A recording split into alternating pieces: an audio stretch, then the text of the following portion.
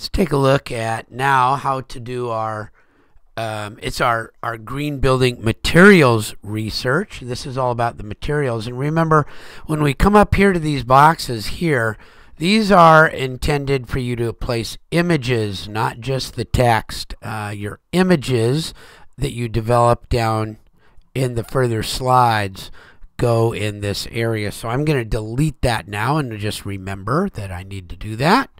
And of course, you'll put your your name right here. You'll replace this with your name. And let's go ahead and take a look at the first one on here, renewable materials. So we need a definition of renewable materials. And um, there is a there's a research document that goes with this. So I've got them side by side. so when I come over here, I'll want to get that definition I can move down, lo and behold, here's a definition of that. So I can copy that, and I can, when I'm over here, I'm going to paste without formatting. And it might fit, it might not. I might have to do a little bit of moving stuff around and adjusting some things, but it ought to come pretty close. So now I've got my definition. Okay, and now I've got to get my my Google prompt, which is renewable materials. And again, I'll paste without formatting. And then I got to make it big enough to, to see. So I'll probably need to make that quite a bit bigger so that I can make sure that I can see that. Oh, oh I blew that. Let's do that again. Paste without formatting and get that to fit. That's probably going to be around a 48, maybe even a little larger. Remember, this is a really big piece of paper that we've got here. Okay, and then I need to get some stuff from uh, from the response, and so there's a whole bunch of things that I can say that these are sample materials that are renewable. Here's more information about it over here.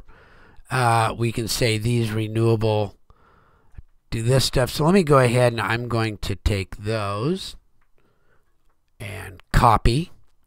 And so it's up to you to put from the response what you think is most important. And we'll come down here. And so you need to read these and then be somewhat. Um, so that looks pretty good. I'm going to make these ones centered. I think it'll look better.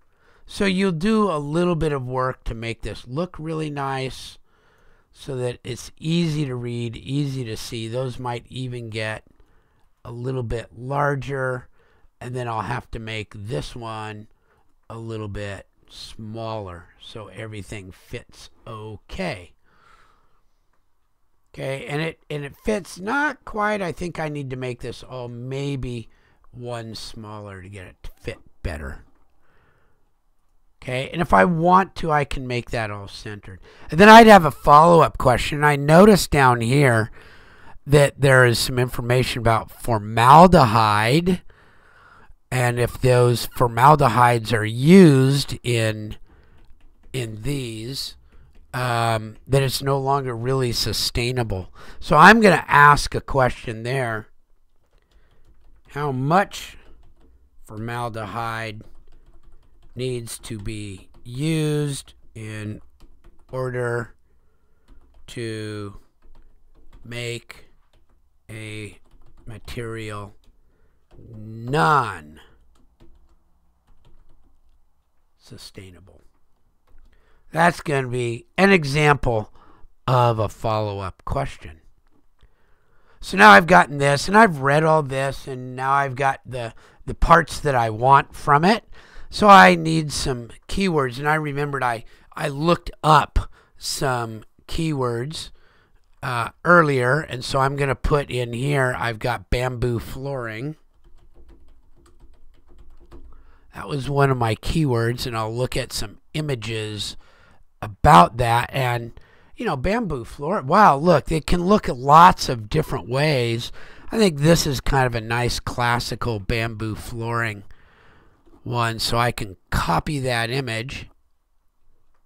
My keyword was bamboo flooring.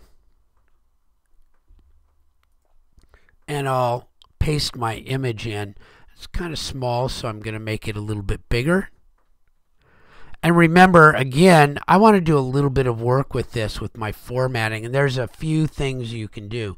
One is you can put a light border around it and put a drop shadow. But then there's also some adjustments. Um, actually, some uh, reflection and blur, blur that you can put on it too. So you might even put a little bit of, of reflection on it and make it maybe even a little bit opaque. And you can do the same thing with your drop shadow. You can put a blur radius on that drop shadow and maybe a distance and an angle and an opacity. So there's some more things for you to learn about. These are all graphical presentation techniques that designers and architects and developers use in the marketplace in industry so that their work gets selected. It's got to look good to the client in order to uh, get past the just asking for information and wanting to get it made. So at this point, I would put in my other three ones. And I want to give you an example now. I'm just going to use my snipping tool. And I'm going to take these images.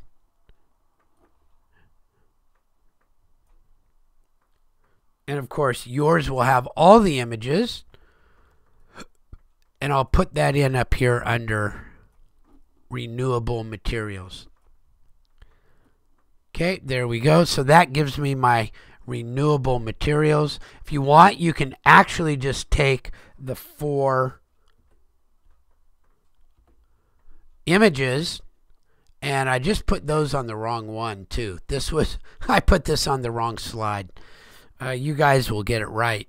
You can actually put all four of your images up here if you want to space things out a little bit more and you can make one of them large and put three smaller ones here. So lots of things that you can do in in this sheet to make it look visually appealing. Okay. This one doesn't need the annotations because you have them down here. All right, so there we go. That's uh, and we can we can get these all onto the right ones here, right? I can take this, put it where it belongs, and rewrite this. And I can take all of these three and I can put those where those belong. Don't know what I did to get to the wrong slide, but there we go. All right, so that's how you would do it. And remember, this one here, okay, I can either take all four of those and put them up here, or I can take them individually, one, two, three, four, and arrange them up in this area as I wish. All right, there we go. That is your uh, green building materials research document.